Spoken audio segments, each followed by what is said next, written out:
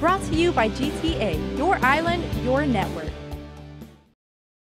Brooks spoke before the Rotary Club on the financial health of Gov Guam and the new reality it faces under the new tax laws. You're going to be remitting to the government of Guam smaller income tax withholdings to the government of Guam.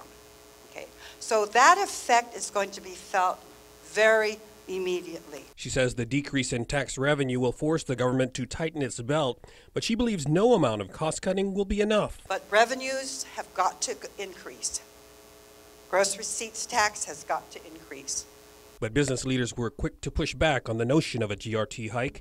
Tim Kernahan of wholesale company Dickerson and Quinn says the business community understands that the government needs to raise more revenue. But his solution? What I think is the fairest way to do that is to completely eliminate the gross receipts tax and instead impose a sales tax.